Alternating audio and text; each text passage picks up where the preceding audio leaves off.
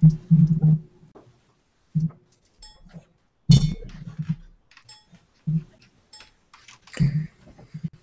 everyone, welcome to the Photoshop show. Tonight I'm flying solo. Jan Kabili is out globe trotting. She's uh, out exploring the world and having a really nice deserved vacation. So she's um, left me in charge and I put together a, uh, a raucous crowd here of, of people who love doing composites. Um, and that's what the, the show is going to be about today, is working on composites. We have Erika Thornes and uh, she does wonderful little composites. She had done some Christmas cards we all saw on Google Plus with her kids with very large Christmas presents and decorations. And Mark Rodriguez is going to show us how he worked on his um, water shot in the photography death match as his composite. And then we have a, a really amazing treat for you, Tanya Rochat, right? That's how you say Rochat. Yeah. Say again? Without the T at the end, so Rochat. Rochat. Tanya yeah. Rochat, who does fantasy matte paintings and is just a wonder here on Google Plus. A lot of the photography community just loves her work. And she's going to talk about and show us some of the work that she does. Um, I'm just going to go through a few, let everyone do their introductions. My name, I'll do myself first, is Ron Clifford. I am a co-host on the Photoshop show along with Jan Kabili. Uh, I'm a photographer and most of my work can be found here on Google+. I love this community and I love the ability to do these Hangouts. Uh, next, I'm going to introduce you to Sandra. Hi, I'm Sandra Parlow, and I am a photographer here on Google+. I am one of the moderators of the Behind the Lens uh, critique group, and uh, I'm just kind of here today to uh, hopefully learn some stuff, ask some questions, and see how these guys do their amazing work. Great, that's awesome. And we have Sarra. Hi, Sarra. Hi, I'm Sarra. I I take pictures of things, but they're mostly just for my own personal benefit. I don't really find a lot of um, uh, external value, I guess, in what I do. It's not really, um, I don't know, I wouldn't call it semi-professional or anything. It's just I do what I do. Um, I'm here on the show because, like Sandra, I want to learn. Um, I like to ask questions, yeah. and uh, this is a really great place to do that to to learn and to ask and to see the workflow of people and, and learn things that I wouldn't otherwise learn. Yeah. Oh, great. We're happy to have you back. You've been on the show before, and we really love your questions. Oh, um, the show is not only for advanced Photoshop users, but, but for everybody. Um, Keith, why don't you tell us a little about your a little bit about yourself? Okay. Well, hi, everybody. I'm Keith Barrett. I do live streaming of Hangouts here on vidcastnetwork.com, and you can find me throughout the internet, especially Google Plus. Uh, my profile, you can go to keithplus.me to go see that. Uh, I have a tech show I do on Wednesdays at nine, usually every other, every week, every other week. It depends on the uh, the news and the topics going on. Uh, I'm a tech guy for the Walt Disney Company, uh, work in the IT department with the computer systems, and I'm happy to be here. Thank you very much. One that Keith Barrett uh, tirelessly um, provides this service on the Vidcast network for us to be able to not just live broadcast, but to record these shows and watch them later. So um, that, uh, anytime that you want to see something over and over and over again, like we do on the Photoshop show, um, just go over to vidcastnetwork.com and you can find the Photoshop show and you can see the, the repeats of that. Um, he also has a little button on there. Do you, does it still say treat you to dinner? Yes. Your little button, Keith? Yeah, he's got a little little PayPal button. It says to treat him to dinner. So if you feel inclined and you learn something from the show and you appreciate what he does, just go and thank him that way. Um, Tanya, hi. Hi. Tell us a little bit about yourself. Well, um, I'm an illustrator that tells visual stories, and I use different tools to do so. So, um, whether I use pencils or pastels or digital painting or photos, it's all then different um, media basically to tell stories. And then my main streams of, or my main forms of output would be my own stationery line. I illustrate children's books and I create matte paintings as fine art. So yes, and I'm happy to be here today. Wow, you keep yourself very, very busy. And that's yes, one of your that's one of your paintings in the background, is it not there? Yeah, um, yeah, there's a painting there, but my whole house is full of paintings, but I've realized in this room it's all here in front of me and not behind me, so it's very hard for me to show you what I've got here. So Yeah. anyway, yeah. Wow. And um, Hey, yeah, so you can Right. find a lot of my work on Google Plus and on Yeah. my website. So yeah. And what's the address of your website? So my name Tanya Rochat T A N Y A R O C H A T dot com dot au. Great. Yeah. Thank you. Thank you. Have we talked uh, to you yet, Mark? Not yet. Well, then let's talk to you, Mark. My name is Mark Rodriguez. I'm a graphic designer, illustrator, animator, photographer, father of twins, uh, and uh, make my own beer.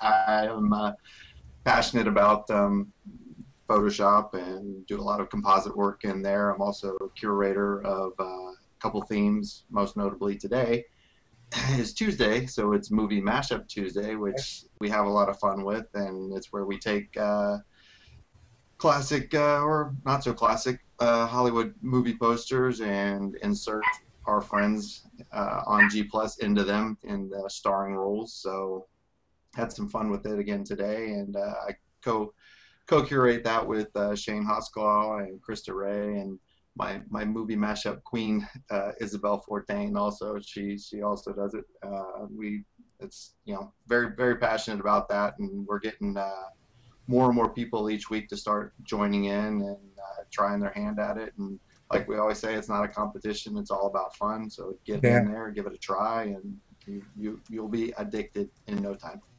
Yeah, I, I really, I, I have always loved that theme, and I've always been too busy to participate. But today was actually a special day for me, wasn't it? yeah, I got I mashed up today.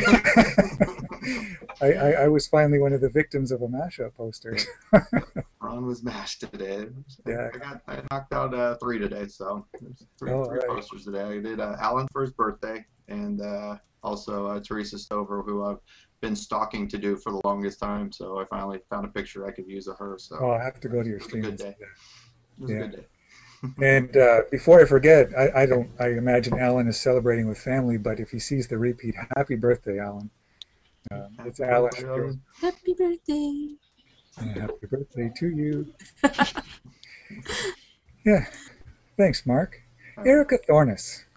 Hi. Hi. so tell us a little bit about uh, you, where we can find you, and what you're going to show us today. Okay, my name is Erika Thornes. You can find me at erikathornes.com. I'm the only Erika Thornes in the world, I believe, definitely in the United States. So I'm actually pretty easy to find. Wow. Um, yeah, and I'm I basically just love taking pictures. I um, got became a professional photographer based off the fact that people kept offering me money to shoot. So I got legal and got a website and I use photography a lot for my play, and I just absolutely adore capturing joy. So I always try and do humor and joy in my work. So, yeah, That's awesome. and I, yeah, and I seem to take things to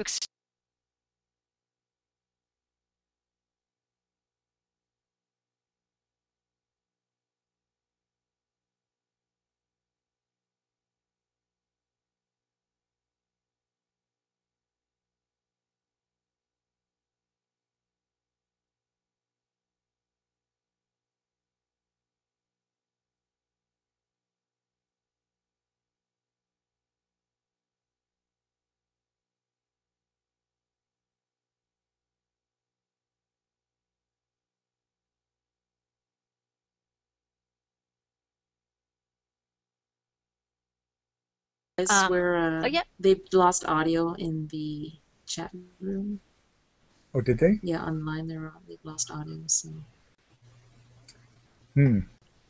oh, they're saying it's back now. Okay, okay. All Okay. right, so I guess I can sorry. You're back. Yeah, it's, it's back. let me share screen.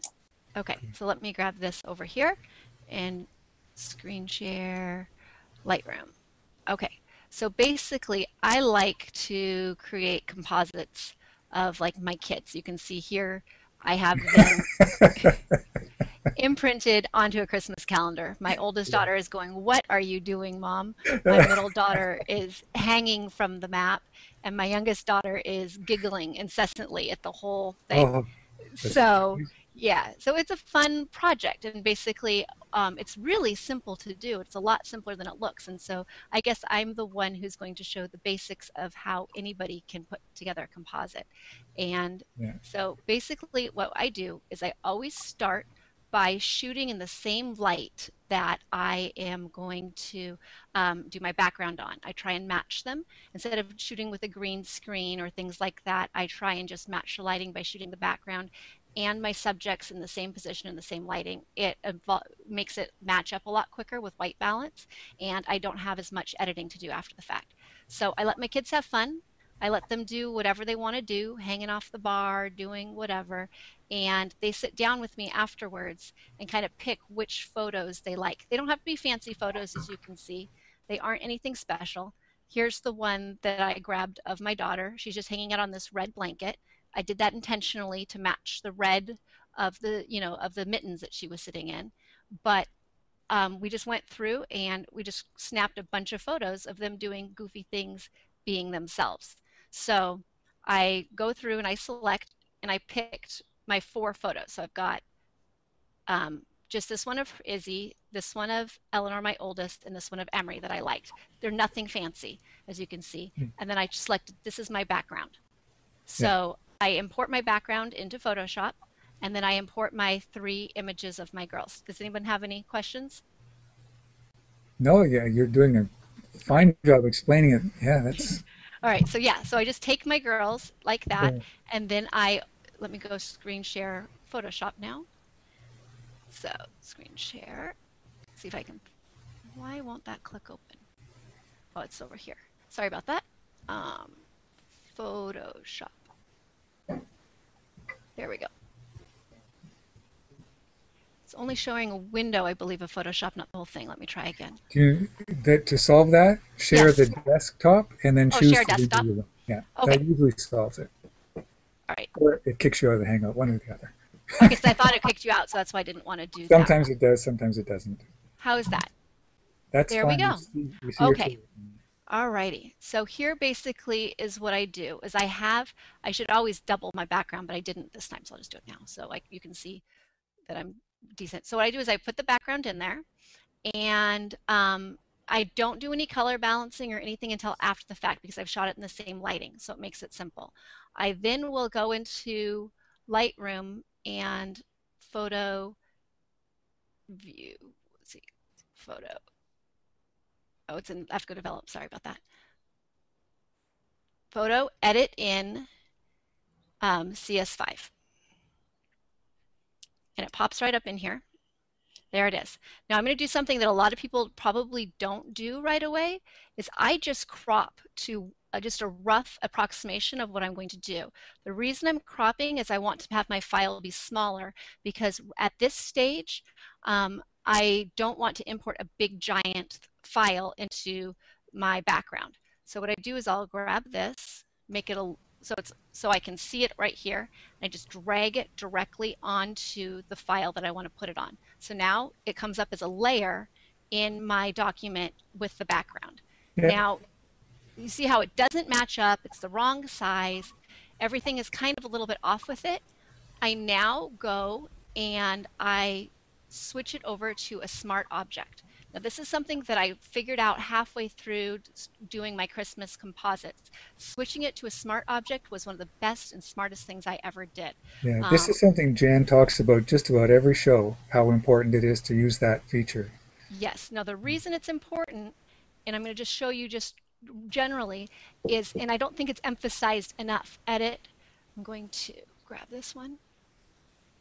Oh, because I have that stuff selected in the background. So, so basically, um, let me hide that. So basically, what I was doing was I was making sure that um, I can shrink it and grow it again without losing any pixels. So here, right now, I have on a layer a picture of my daughter Izzy that I previously imported. And I have already gone through and used the magic wand tool. And is that the magic? No, that's not the magic wand tool. Which one is this? Quick select. Quick select tool. Yeah, quick select tool and selected her. And then I can go in and hit refine edge and I can, you know, edit out the details and get it all perfect. Um, you can output as a layer mask and hit okie dokie, and there we go. So now, oops, I did it to the wrong layer. Moved it over. So anyway, so there she is right there on a layer mask. So now I can do the edit. Can I free transform, um, edit? Oh, wrong layer, that's why. Edit, free transform, and now I can move my daughter with that mask moving too to wherever I want to place her. And since she's a smart object, I can shrink her down, make her fat, skinny. I can hit OK. Oops, that's wrong. I can go back in and hit free transform and I can move her back and I haven't damaged the image. So Yeah, this works really great when I'm repossession, repositioning things. So basically that's how I kind of get her lined up in there. And then the rest is just simple little details. So the Mhm. details would be, um, here I made this one so you can see. Um, I put a blue layer. So I have them all positioned. You can see that there's some shadowing that came from the original blue on her. Let me zoom in. See, my they don't have to be perfect composites. They don't have to be perfectly detailed. You because you've shot them on the background you're going to use them on. So Correct. So it Yeah. doesn't have to be perfect. And I have um, the I have the masks behind. So if I need to go through and erase some details, I can do that without doing any harm to the images. So I since I keep the layer masks there, I can erase and add um, image back using that tool there on the mask and not on the actual image so that it's more flexible. So everything with my composites is incredibly flexible. So that's my goal. And like right here, let's grab her, find out what layer she's on. And you can see the detail of that not quite being right. So I can go through with my paintbrush and on the layer mask of my daughter here, Eleanor, I can go through and I can erase back some of that stuff. So Mhm. opacity is too low. But I can go through and get rid of that. There we go, white, black. And see, there we go. So now I'm fixing the details on her. And so that's basically how I do it. And then if I want to do something pretty fancy, like with, it's not very fancy, but with Izzy, she really needed a drop shadow to match the drop shadow from Yeah. the other stuff. And so I added a drop shadow there on a separate layer. I just painted directly onto a layer. And so you can see the drop shadow. Yeah. And then with her covering it, you can't, you know, it's fine. So it's basically just a separate layer of the drop shadow. So I basic that is how I make my composites. It's really, really simple. wow. Well, thank you for showing us that. Now we're all going to be doing that for our Christmas cards next year. yeah, I mean it's it's it's truly just simple. I mean, I hope that I can. So the main keys are just import them all, shoot them all in the same background, import them in, and when you move them and position them, do them as smart objects, and um, use a mask so that way you can edit and erase around them. you can clean it up. Yeah. You can clean it up and you can redo it. Now I, I don't know if you have any of the other images that you had I do. available. I do. Um, if Let you me- could show us a couple before we we um, move Yeah. on and ask Mark to show us about his water, I'd love to to just show off your your. These are so fun. Like these are so fun, and Okay. like you say, the word joy comes to mind. Okay, let's see if I can get that one up again. Lightroom. Here we go. So here's one. And with with this one, um, I did all that same exact stuff, and then I made sure to add a layer where I was painting in some opacity to get the lights right, so that the shadows and the lights were, you know, Yeah. correct, and so that it kind of blended. People were surprised by that one. And I think I've got one other one that I put. So what do your neighbors say to you They laugh. they see your card? Yeah, they laugh. Yeah. But Oh, yeah, this one was, yeah, that one was really fun. And the key to getting this one to look realistic is if you can see the shadows by their feet. I had them actually standing on the couch to shoot this. And so you don't have to worry about the background matching because it already does and the texture's right. So the key for Wow. this one being successful is to make sure that you're shooting on the same surface that you're putting it into. I bet they were loving being able to put their shoes on the couch. Oh yeah. As you think- yeah. so yeah, that's fun. It's really simple. So I hope that that kind of explains how I cheat by doing it all in the same lighting to make it easier for the composites. Yeah, so you covered, I, I just want to, I, I, one of the things I like to do is reiterate or repeat what you've said um, just before moving on. And um, you, you said there was a couple of key components. One of them was to shoot on, on the same background or on the same object you're going to be using. Yes. And um, convert convert your selections to smart objects so that as you scale them, you won't lose pixels. Yes. Oh, I did um, forget one key that I didn't Those do. are two very If you're taking if you're taking a large image, if a you know a big kid and putting them into a smaller thing and you're shrinking them down, you need to go in and add a little bit of noise at two or three percent, and you need to do a smart filter for the noise so you can change it so that your person blends in with the amount of noise in your photo. Okay, yeah, that makes sense to me. Just wa- just quickly walk through that Okay, that step about adding noise to to the layer. Just a real quick go through no problem. because that's that's an important part to make it look like it's really part of the image. Yes, let me grab that desktop. Okay. Otherwise, the image will look like you, took a sticker and put it on. Yeah. Yes, exactly. So like this one where she was a lot bigger, I would go up into, um, let's convert to smart object. Sorry about that. Yeah. All right. Okay, now she's a smart object. Filter, noise, add noise. So I would match this while I was doing the selection, and I have it about two and a half percent because that's usually about what I use. But Okay. this way, if you're using it as a, you can see it dramatically here. If you're using it as a smart um, smart object, you can go through and change it back and match it later. But some of my early composites looked very fake because I wasn't putting noise on my um, added images. So um, it's a very important step to make it cohesive. Okay. Thank you.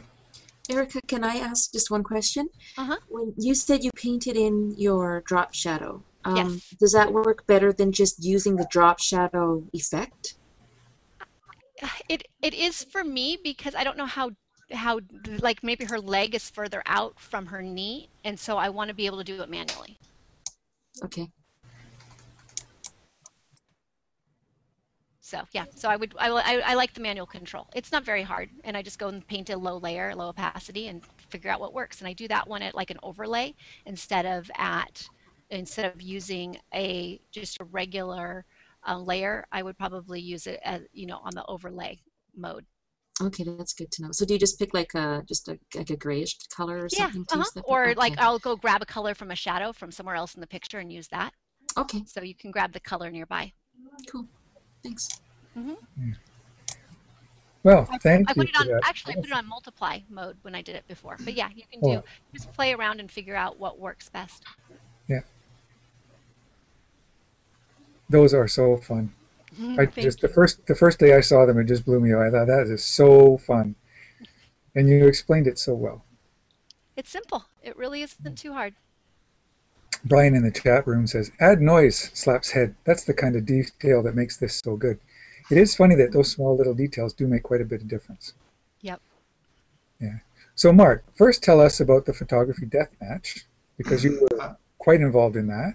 Yeah, um, I've actually been involved in three of them now. um, they're put on by uh, Samir Osman and uh, Tamara Brusner, and uh, they're kind of on a hiatus right now, but they were going on for a while, and it's where uh, photographers are sort of pitted against each other and usually put in um, a scenario or a field that they're not comfortable with. So my first one that I was in was actually um, was street photography, which I never do. I never do street photography, and so Yeah. that was the first one.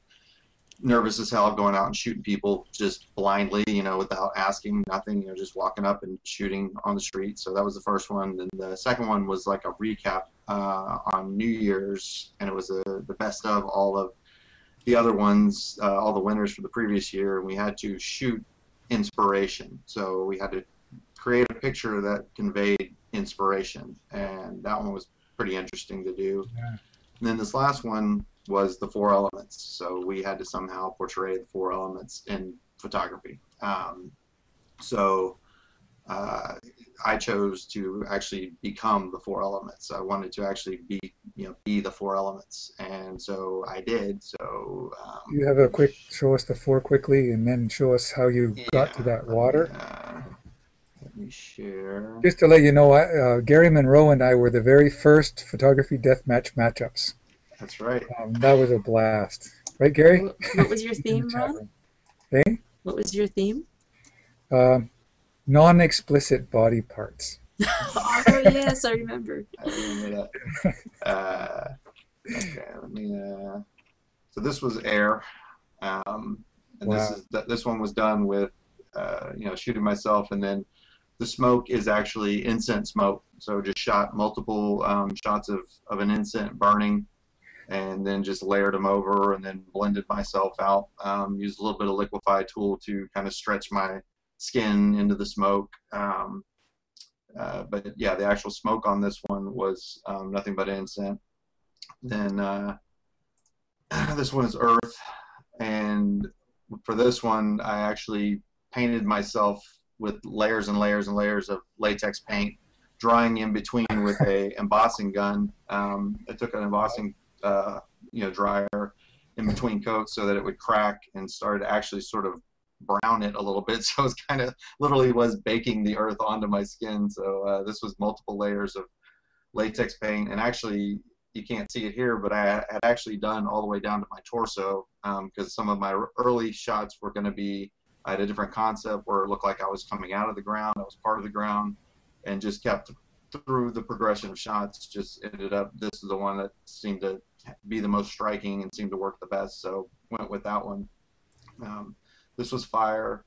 Again, you know, composite work. Shot myself first with um, just a uh, just a speed light right at me, um, triple gelled with CTO, color temperature orange gels, to get real, real intense and um, just Wow. really, really, um, really hit it hard so that I got that that look of um, you know being the, the blowout that would be hitting across my face and then the, the fall off of the, the orange down the body. So all that coloring on me is actually straight out of camera. Um, that's straight using you know, using gels.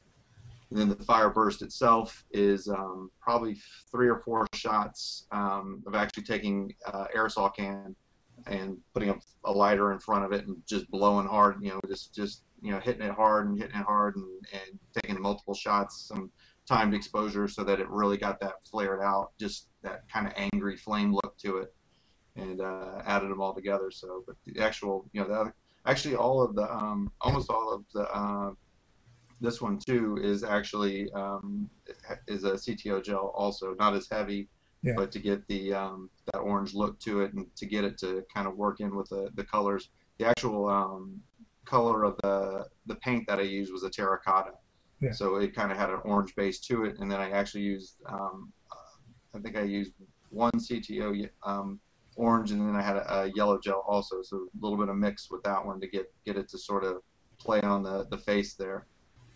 And then the one we're going to talk about is this one, which is water. Again, Yeah. the, all the color is is straight out of camera, all using gels. Um, so they're, they're straight shots, and I can kind of show you first um, all the shots. Um, I took multiple shots of a lot of different ways, um, a lot of different things, a lot of trying a lot, lot of different things, trying just my hands, trying different things with how you know it would be presented, how the water would come out. Um, so these were just shots, just testing the lighting on my face, the lighting on my hands, how it was going to work.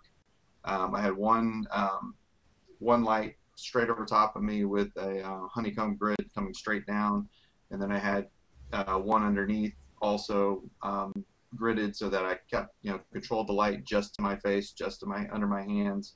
Um, then there's actually a piece of plexi over it, so when I started doing all the water, I could still keep the lights going and not you know burn them out. Um, but they're all it's all all done with speed lights. I, I pretty much only work with speed lights. Just um, uh, I shoot Canon, so they're 580 EX2s, and I also have a 430 EX. So this was doing water tests, the original water test, just to see what the splashes were going to do. I almost broke this bowl because that's an acrylic ball I'm dropping in there. Um, so I don't know if the pictures are going by fast. Um, so that you know, doing some you know water tests just to see how the splashes were going to do. Let me go Yeah. further down the line here. Um, Did you watch any of Alex's uh, I stuff? did. Yeah. Yes, absolutely. Um, I watched about 15 minutes of one of his things before I, I started doing this because this was all literally done the night before everything was due. So I was in, Wow. I shot all of all four shots I shot the night before they were due and edited before morning before we had to start posting them. so that, that being said, Mark, I take it you work best under pressure? yeah, I have been known. Uh, so here's uh, you know testing how the water is going to be coming off my hands. Ah. I wasn't naked. okay. oh, sure. That's what you say now. I was close to naked, but I was not naked. Just a little careful what I, exhibitionist. uh, there could be.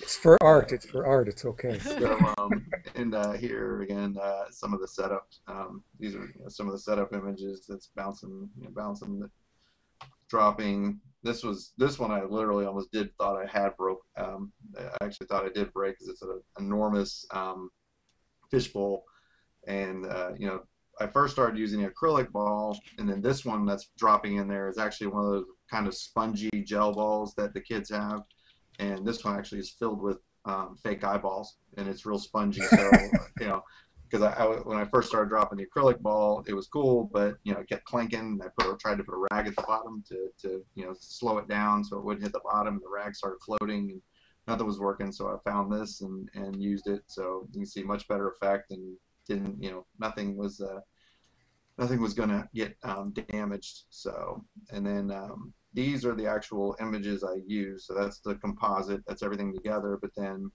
I use this hand I use that hand I use that splash partially I use that splash partially I use that splash partially that's the actual ball that's coming up in the in the swell of the water that's one of, that's uh, only using a very small part of that um, that's the main uh, tower of water that comes up underneath it.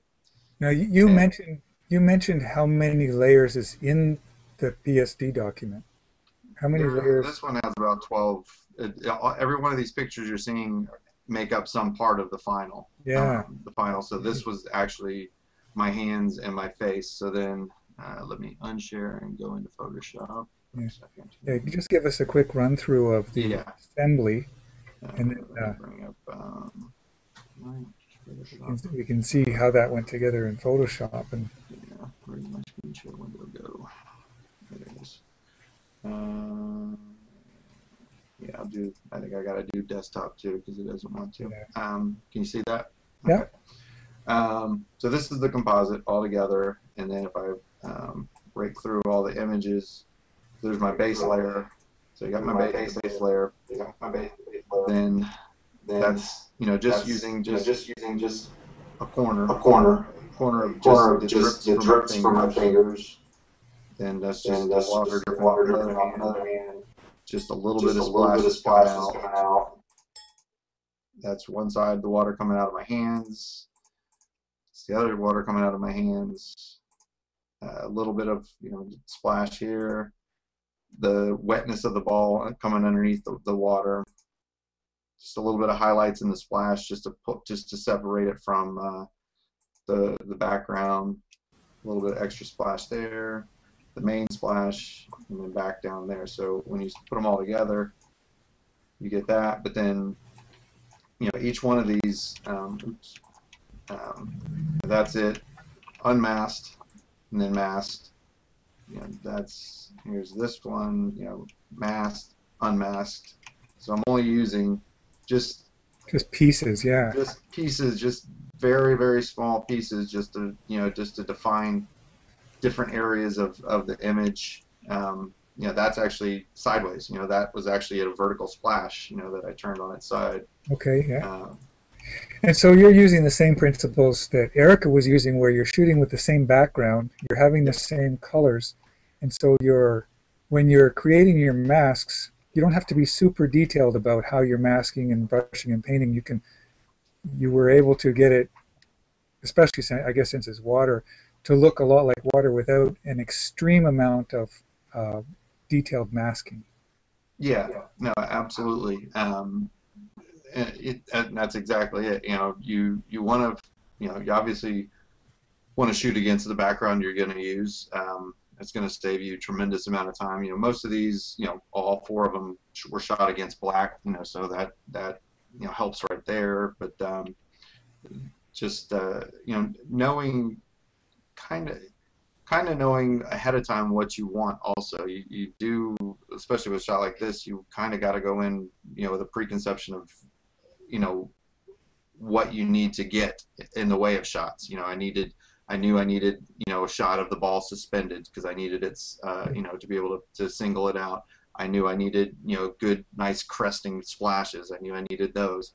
I knew i wanted uh, you know the water dripping from my fingers because i knew you know if i was literally holding water it would be dripping out. So you know, just you know, things, you know, those different, you know, just details, kind of having all that pre-thought out. Um, I didn't really sketch these out. Um, I have in the past sketched, you know, sketched out what I'm going to do ahead of time and then do it. But the this particular shot um, or these shots, I kind of went in with a fourth, you know, with, an idea of what I wanted to do, and then just kind of executed like like I said on the fly because it was yeah, yeah. I had one night to get it right, all four shots. yeah, I, I, don't know about getting all that done in one night. I got to tell you, I, I, I, when I first started with Photoshop, even thinking about putting something like that together would have been an impossibility. But had I tackled it, it would have been it would have represented a hundred hours of work at the beginning when I didn't know what I was doing. Not that I totally know what I'm doing now. I have a question. yeah. Um, okay, so Mark, when you're doing your shots and, and you're getting all of the different pieces of, the work that you're doing, do you do you think it, do you find it easier to, to do the bits and pieces, or uh, would would you get the same result if you just you know took a picture of you posing like in the pose that you wanted, and then and then did that? Would would would that produce the same result, or do you find that you get better results if you do multiple shots and then just take pieces of them? Well, both. I mean, I, I kind of knew. I kind of knew, and I did. I. I did a couple, you know, kind of a, a, series of different ways that I thought I would like it. Like I, like I said, the, especially the Earth one, I had like three or four different concepts in mind, and then ended up with the last thing I did. Actually, was the the, the one I went with. Um, but no, absolutely. You know, this you know this shot in particular would be impossible to do in one take. You know, there's no way it could have been done in one take. So that's why I knew how I had to, you know, how to go about it. I thought at first maybe I could have had my hands, you know, around a fish, you know, bowl, and the, the thing would have went in. It would have made it look like it came out. It was like that's just not going to work. You know, if when I started doing my proof of concept, dropping the ball into the water, I knew that wasn't going to work. It's like no, this is not going to work. So then, then I had to go outside of that and start going. Okay, I need to put it together. I know what I want it to look like. I want it to look like it's you know emanating from my hands, and, and then started shooting. So I did do um, you know when I showed in Lightroom, I did a lot of different looks with my hands up higher, up lower, and the the initial actual shot of me posing actually is one shot. You know, it is my hands in the face. I just got the lighting where I wanted it because I kept moving closer to it. I kept moving back away from it you know, I had my hands further apart. I had them more cupped like this. I, you know, tried a different way, a lot of different ways through the whole time. And when I shoot, I shoot tethered. So I've got my laptop right, either have my laptop right there or my Zoom. I, I can shoot straight to my Zoom tablet also. So I have one or the other. So as I'm shooting, what I do is I set it up on a, um, a timer that's kicking off a shot maybe every five seconds and that way I can you know keep shooting, keep trying different things. I don't have to keep stopping and clicking and stopping and clicking. So it's taking multiple shots, and then then I'll you know I'll do maybe ten shots, stop, review what I got, then do 10, another ten shots, stop, review what I got. So you need an assistant. uh, I've been told. An intern. Anybody want to volunteer? So you, was that one of your more popular, um, was that one of your more popular photos on, on Google Plus? Yeah, this one was um, actually my inspiration shot that I did for the other one was extremely popular, and that one was actually completely straight out of camera. That one was because it it it didn't have to be, but I wanted it to be, and it actually, other than like a tiny bit of sharpening, was com- completely you know straight out of camera. And that one, um, I don't know if it was in. Uh, I don't, yeah, I don't have time for that, but um, uh, you know, it was, it's, it's in my, my, uh, you know, in my galleries. If you look at my selfies galleries, it's in there.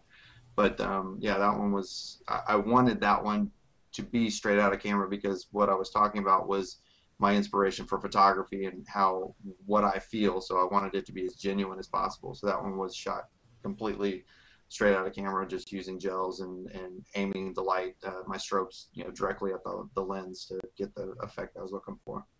Cool. Okay, thank you very much, Mark. You're welcome. Yeah, I'm so glad I got to see that walkthrough. I was looking forward to that. Yeah, that's great, and the the, the result speaks for itself. Thank you. Yeah. So Tanya, I'm really happy to that you've joined us today on the show, um, and I'm really looking forward to seeing some more of your matte painting and a little bit about how you want to, uh, how you do those, and what's the inspiration behind them. I'm very curious. I guess first of all, for you to share just a little bit about what inspires you to decide to do a particular painting, but you do quite a variety of work. It's not all one subject matter. It's quite a variety. So share with us a bit. Well, I think um, the main things that inspire me are things like shapes. I'm always seeing shapes in things, and and so these type of concepts um, would usually start by me blocking in shapes on, for example, Photoshop or even my iPad, and then kind of carving out with eraser tool or with a, a, a different color tool just until shapes work out for me, you know, and then you start working out atmospheric perspective. What is further away gets lighter and less contrasty and and those kind of things until a composition just falls into place. Now that is one one way. So something can just evolve naturally. Another thing is movies inspire me a great deal. So I could watch something um, like Lord of the Rings and think, man, th- it's just so wow, and and the and the greatness of it and the otherworldliness of that inspires me. Then I love vintage everything. I love vintage planes and vintage hot air balloons and you know turn of the century 18 to 1900s. I love that period. So. Um, and, and, and I love steampunk. Now I I'm I'm you know planning now a whole series steampunky wise. Now I haven't done that, but that whole thing of imagining the future and but yet making it eclectic, I love that. Um, I love line. So um, it's it's all these kind of different things that that that leads to something, or just a beautiful sunset, and then thinking, you know, letting myself daydream, thinking, oh, what would it be like if, if on that hill would be a castle or that not? Now, for my next series, it would be because uh, uh, at first I was qualified as a fashion designer.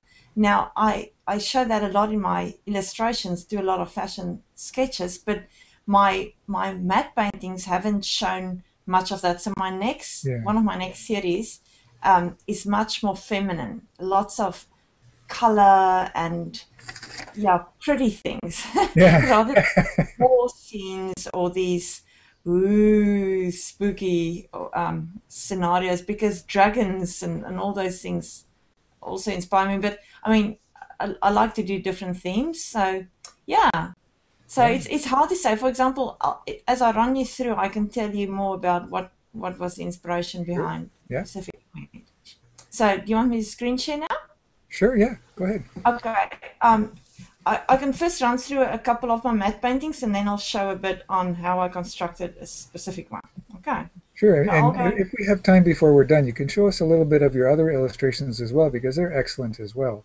But I, I was really keen on having you share about your matte paintings because the photography community just just grabbed hold of them and just loves them so much.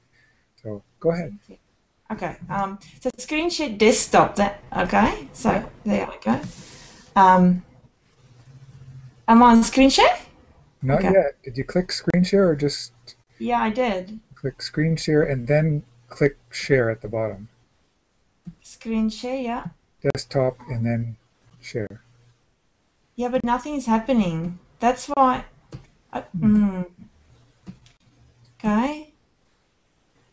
Okay, I'm, I'm hitting screen share. I'm gonna go down and see if anything happens. Yeah. Okay. I think I think Did Ron is saying it's two share? clicks.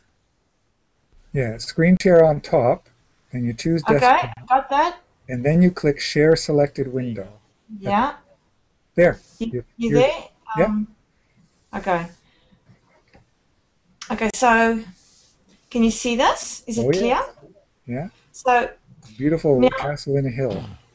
This is one of the first ones I've done. Um, so yes, it's basically about, you know, I lived in Sydney at the time where I've done a lot of this, but we've recently moved down to just south of Sydney on the south coast where they've got all these gorgeous rock structures. Now that's what at first inspired me because, and I'll show you in a, in a later one where you can see more, it's very much um, blocky type of structures. And I, I was just thinking, what can grow out of this?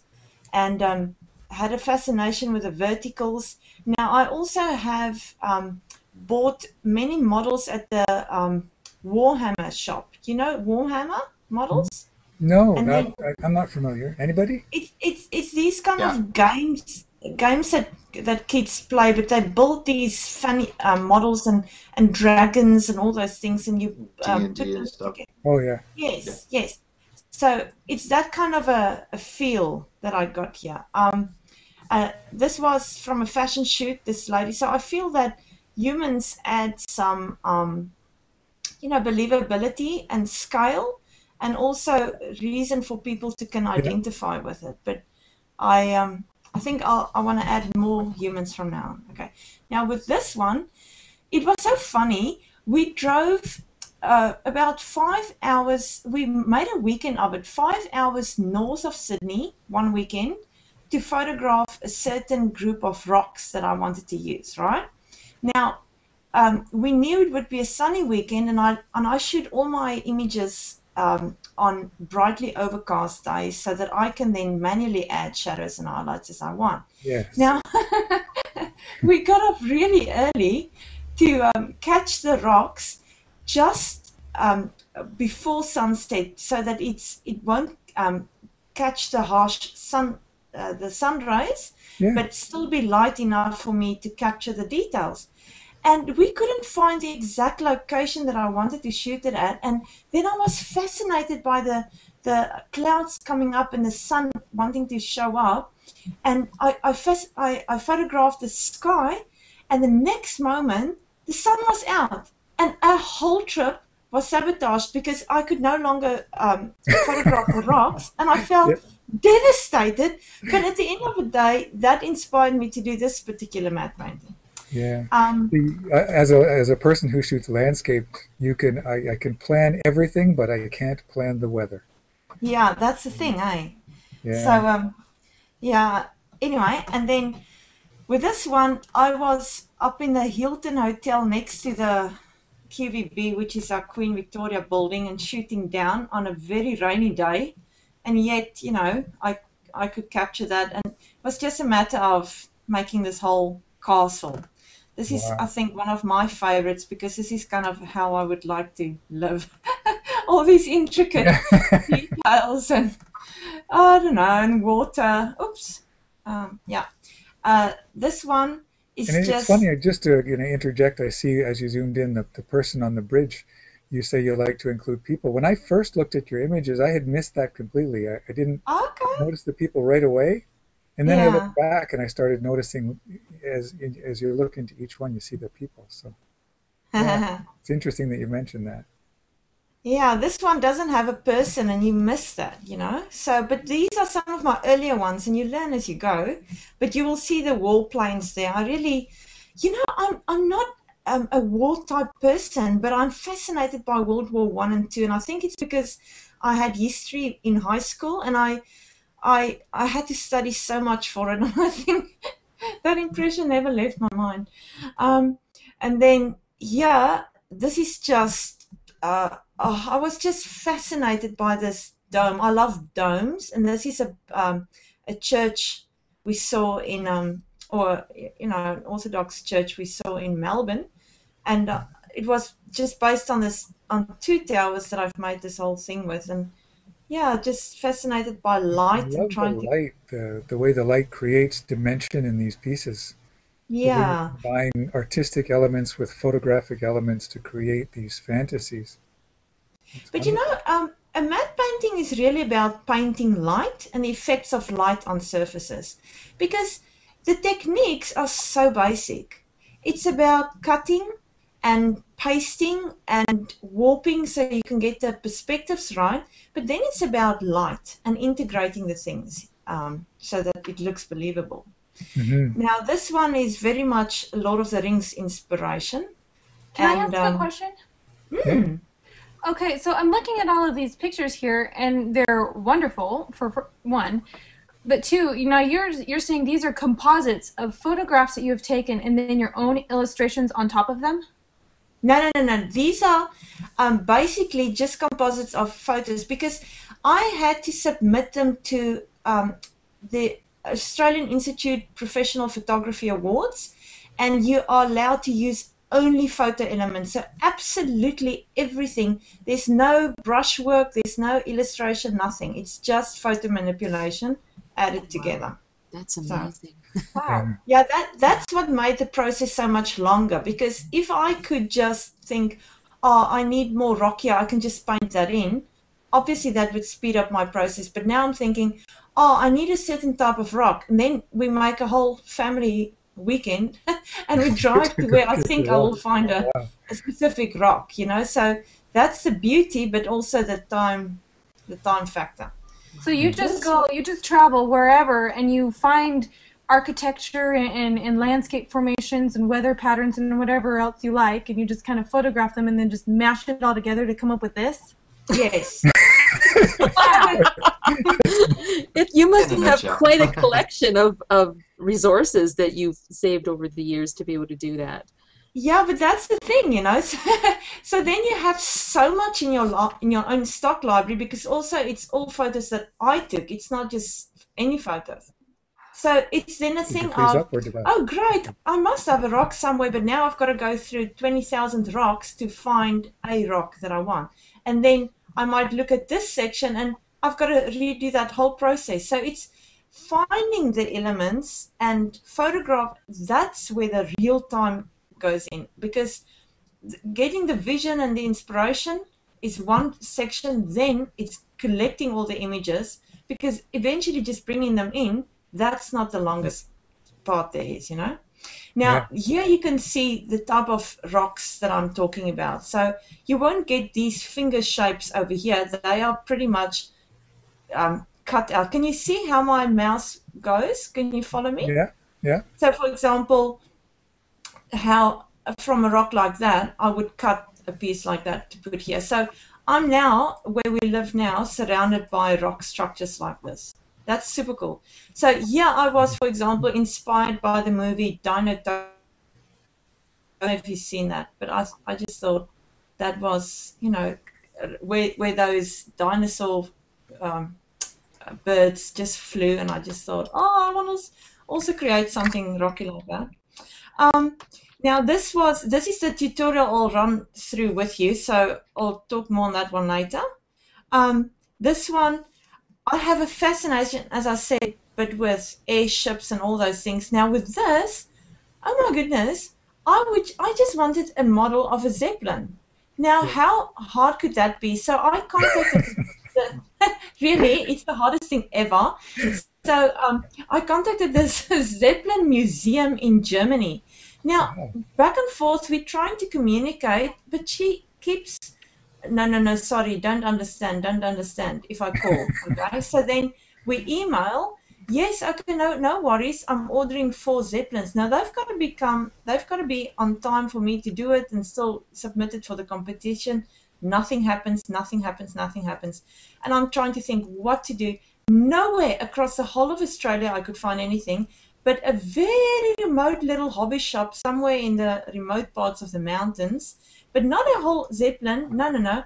One that you build out of cardboard. So Oh. there I am. Seriously, this whole paper model. And I'm like, oh my word. But anyway, it worked out. So there's my Zeppelin. But to this day, if you can ever let me know where I can find a real Zeppelin model, you're my best friend. Um, and these were bonsai trees, you know, to just capture the detail.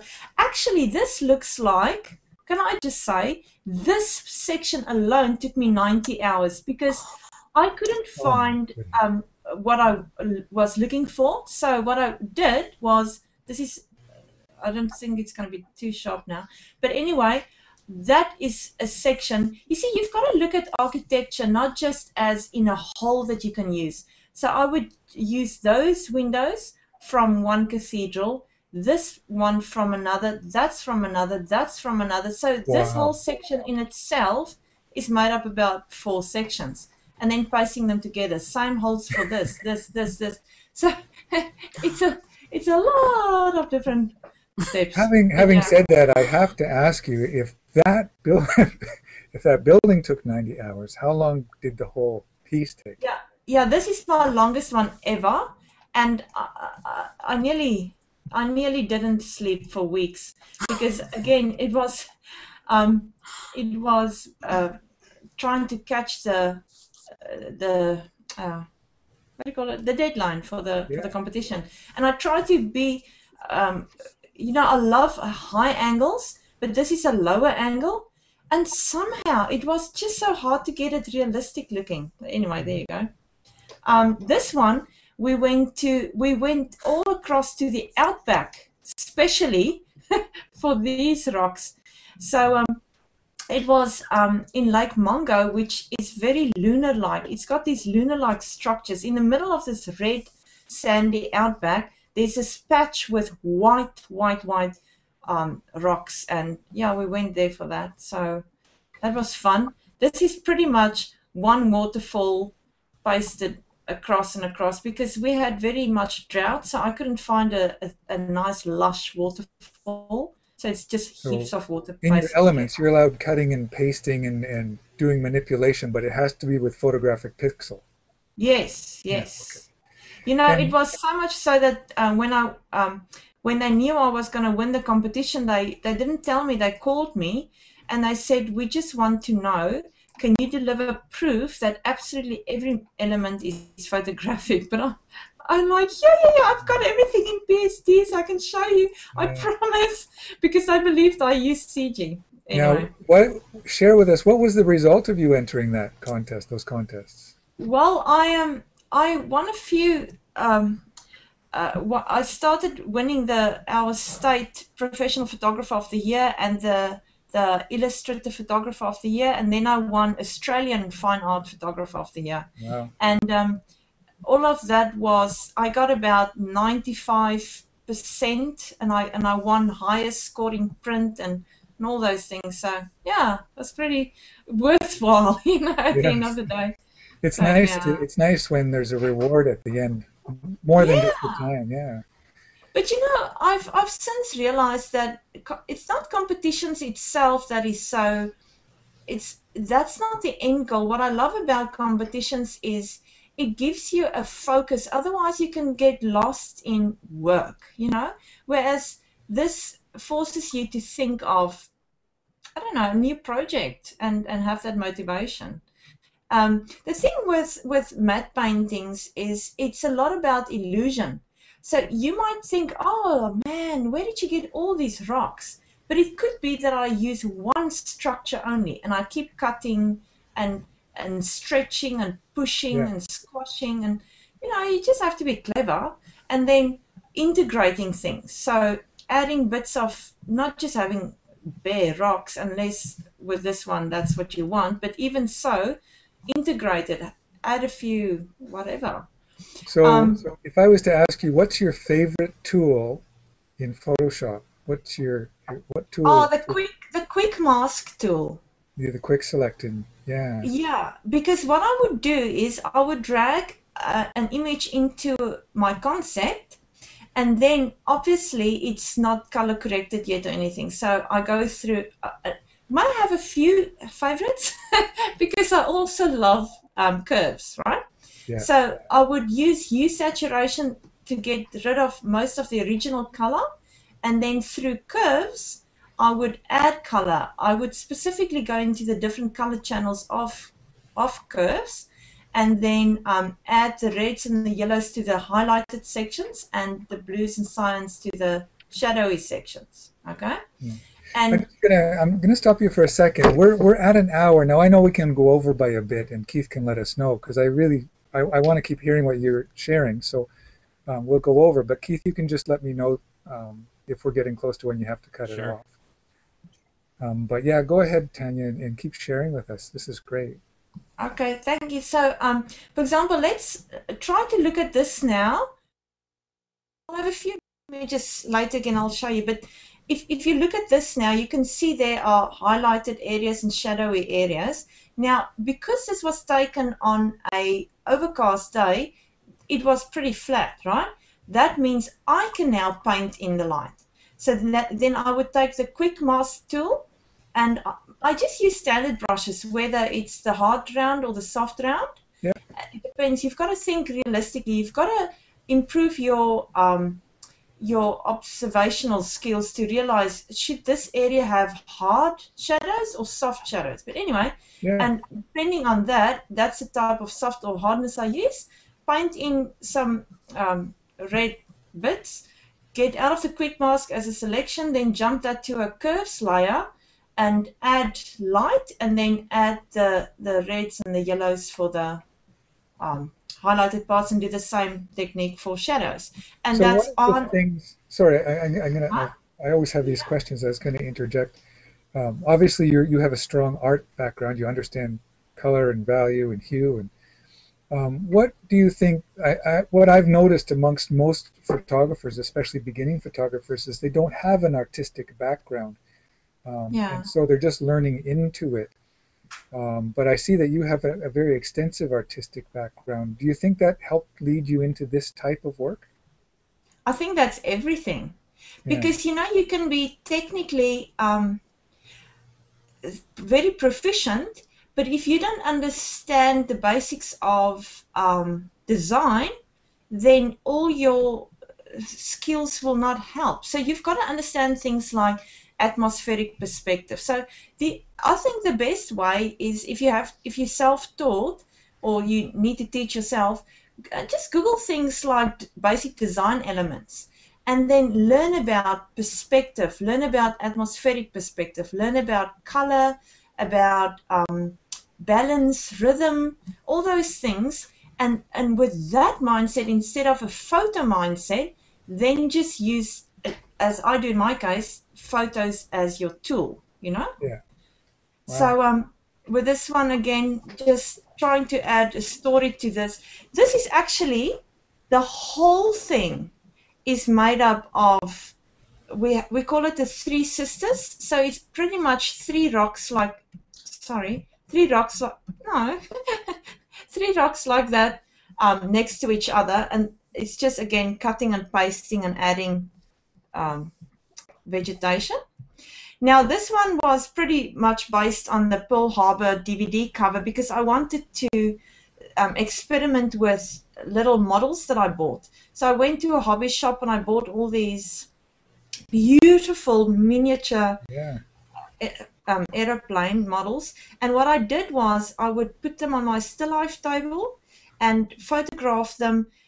Obviously, if you're that close, for those who do macro, you realize it's very hard to get a, a proper depth of field. And I like to photograph everything sharp from front to back so that I know that I can use them in any capacity possible. But Yeah. in this case, I would photograph um, uh, with a focus on different planes. So there, and then there, there, there, there, there, there, there to, to the very back, and then import them into Helicon Focus, which Yeah. is a little software program, and then that adds the the um, depth of field to the whole thing. And this smoke is pretty much from out of one of those factory chimneys that I just changed the colors of. My skies are also never just one sky. It's um it's a mix of Yeah. many Mhm. skies. Same thing here, models, smoke, water. Yeah. Again, models, smoke, and another model. So And the um, perspective, I mean, the point of view, your your your own unique vision, your own, the way you're creating a point of view, creating drama by perspective and by color, and it, it's just impeccable. You have a, a real skill at creating drama with your image. Thank you. I think um, it's my personality as well. You know, the thing is, you've got to you've got to be true to who you are. You've got to ask yourself, um, what do I like? Who am I? You know, uh, um, and it will come out if you if you just mimic other people's work. It will always be mediocre copies, which is okay in the beginning if you learn skills. Yeah. But to really show your vision, you've got to just get quiet and, and, and not be afraid to say, man, this is what I like. And yeah. Now, yeah, I'll just show you. So, for example, um, when I created this, this, um, so here you can see the concept sketch, and all these lines are perspective lines because you've to make it look believable, you've got to get the perspective right. So again, as I said, there are two types of main perspectives. One is the atmospheric perspective, and the other one is this linear perspective for architecture. Now, when you just do a landscape, you don't really mind about that, but it's very important with architecture. And then uh, this is the concept without the the perspective lines. Here, I've started dragging in elements. Now, let me just show you. This is what I photographed. It's a little model that I bought. Okay. Now, Wow. I, My God. that I basically created this whole thing from. But so this little model, I didn't want this Has George stuck. Lucas called you yet? Hi. Has George again? Lucas called you yet? no, but the thing is, you've got to also not um, design according to the photo. You've got to let the photos work for you, right? So Yeah. because this is my concept, I don't have this type of tower in there. I wanted this one by itself. So what do I do? I cut this part out and I clone bits to the opposite side to get just a plain tail like that. Wow. All right. And um, this is a mini, mini model of one of the riders that you will eventually see here on the bridge. Okay. Yeah. Just to add again some believability to it. This is also models, mini models of about, in your terms, about three inches high that I that I created. So it's these grey plastic models that I glued together. Then I spray paint them in black. Then I paint them. Then I photograph them. So this is just one little house that I've reused by squashing and stretching and cutting and pasting. Can I Um, ask you approximately, like one of these or pictures, how many layers would you have? You know, I might. It's impossible to to have the final image with all the layers. So I do flatten um, bits Yeah. from time to time, but I'm not a huge flattener. I don't love to work on one or two layers only. So I think I might go up to about um, 50 or 70 layers before I, I flatten groups and then build it up to that much again because as soon as I get over 2 gig per image, it, it's too slow because you've got to save often. And then it takes about 7 to, to 10 seconds to, to save, and it's a bit long for me. so, um, anyway, um, so yeah, you can see as, as I'm, um, where were we? So, adding more, more of that. Oh, what I've got to show you as well you can see how smooth this is, right? Um, I'll, I'll just just bear in mind how smooth that is. Now you can see I'm adding the rocks. Now, as I said before, it's all got to be integrated. Otherwise, it doesn't look realistic, but just like a stuck-on collage. So there, it's just adding elements, adding more elements. But you can see I'm painting in light. Now you can see the structure has changed. You know why? Because I I found this one it's in a in a shopping Oh, center, but I, I love the, texture. the texture. Yeah. So I just overlaid the texture on the original. And look what a difference it makes. So never see something as final, you know, just work better. So, and here I added some smoke. I love you. You will mostly see mist and smoke in my images. Yeah. I also think it separates the different planes, the foreground, midground, black background. And that's pretty much just clouds taken against blue skies, extracted in the blue channel in Photoshop, and um, brought in at a low opacity. And voila. Wow. So yeah, and then if you quickly wanted to see, um, Can you do dodge and burn layers, or is that would that be considered painting and not count? no, that the um, yeah, but I don't do it because I find that destructive, right? Okay. So what I do is what I said is with a with a curves layers Okay. because then and, and then you do that as a And then you mask. mask it. Then you mask and then you use the brush tool. Yes. Yeah. Yes. And- And that's it. And that's not considered painting because, I mean, uh, it's not. It's it's working on a on a You're working with existing pic- pixels on layers. Yeah. Yes, yes, yes, yes. And it's just a matter of manipulating where the light would fall. Yeah. Got it. Yeah. Oh, Yeah. Gary Monroe said, "Yeah, easy peasy." um, this is how how I started. Is just in um, weddings with with composites, just playing around, making things like this, and but I've also done um, photo illustrations, but that was in the early days, combining a lot of um, Illustrator with Photoshop. This is just Photoshop using masks um, all these kind of things. Did a lot of fashion. Yeah. And so yeah, that's just and there's a lot of lot of work on Google Plus and also my website, and that's where you can see um, my stationery and the like. Yeah. So yeah, but I think we might be running out of time, right?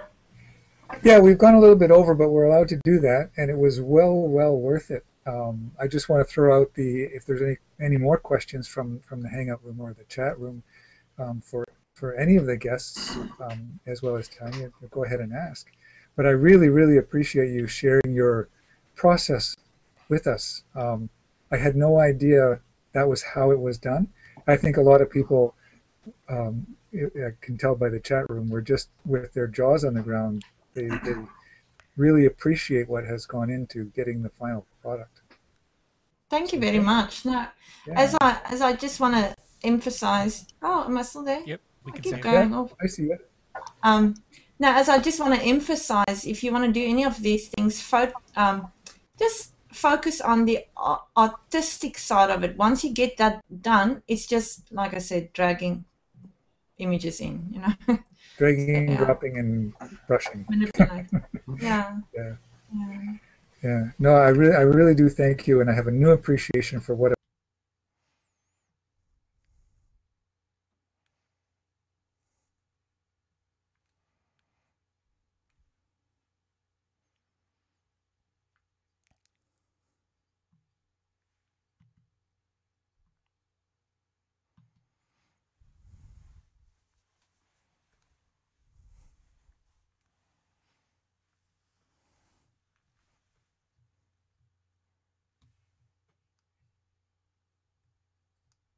Artistic um, background with your photographic background. Yes. Well, I'm looking forward to seeing more of them. Yeah, I'll print as I do more, or post. Sorry. Anyway, so the, yeah, thank you very much, and thank you, Erika and, and Mark, and um, for coming as well and showing us. Mark, just before we log off, show us what you work on. Do you have that beside you? Uh, I mean, like my Cintiq. Yeah. I have a 21 inch Cintiq that I work with, and then I have a 30 inch uh, Dell monitor. Wait, I am still here. I'm not asleep. As the hangout goes to sleep mode. and the Cintiq is you work directly on that like a like a pad, like a tablet, like a Yeah, I draw directly on there. It's, it's um, you know, I- I could with my my main uh, you know 40 hour week, so to speak, is animation. I do animation, so the ability for me to draw straight onto the screen and not have to.